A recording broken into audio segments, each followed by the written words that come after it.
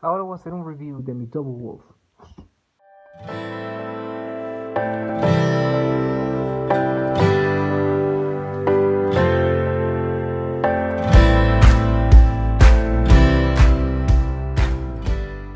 Regresando, oh, mi Double Wolf lo compré hace mucho, tiene dos cabezas, se transforma. El único accesorio que trae este que es como una pistola. Ok, vamos a transformarlo.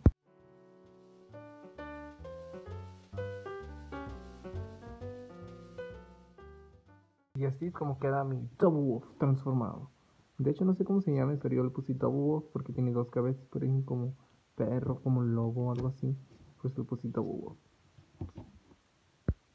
Así que aquí está mi Wolf con todos los demás.